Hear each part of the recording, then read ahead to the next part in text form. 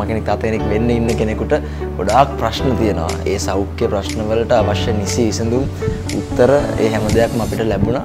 Amazing guys, this is uh, this is really really great. ඕ දේවල් ඉගෙන ගත්තා.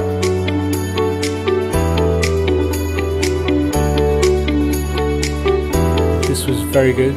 One thing we haven't seen on others, which we really like about this one, was the pediatrician, especially going through all of the conditions that babies normally have, which we as new parents don't need to be scared about. That was very, very helpful. Yeah. Otherwise, we'll be rushing to the hospital. Like every rash, every problem, we'll be rushing. So that was actually quite informative.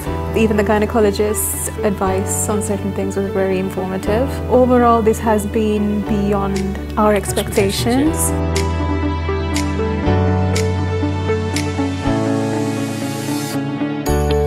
දෙමාපියන් වෙන්න අපේක්ෂා කරන අපේක්ෂාවෙන් ඉන්න අයට නයින්වල්ස් hospital එක සංවිධානය කරලා තියෙනවා. සෞඛ්‍යමය දැනුවත් කිරීමක් කරන්න වැඩසටහනක්. අපි වැඩසටහනට සම්බන්ධ වෙච්ච ගමන්තමයි ඉන්නේ. ග්‍රේට් මාම්සන් ග්‍රේඩ් ඩෑඩ්ස් කියල තමයි වැඩසටහන හඳුන්වන්නේ.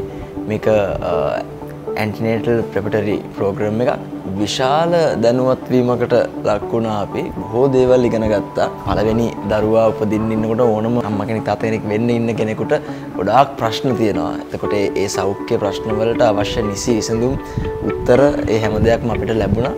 ඉතින් මම සුභපතනවා ඒ වගේම ස්තුතිවන්ත වෙනවා නයින්වස් හොස්පිටල් එකට මේ වගේ වැඩසටහන් කරනවට. මොකද මේ දැනුවත් වීමත් එක්ක මම හිතන්නේ අපිට මේ ප්‍රොසෙස් එක හිතේ ශක්තියෙන් හොඳින් කරගන්න පුළුවන් වෙයි අවශ්‍ය ශක්තිය ධෛර්යය ලැබේ කියලා ප්‍රාර්ථනා කරනවා.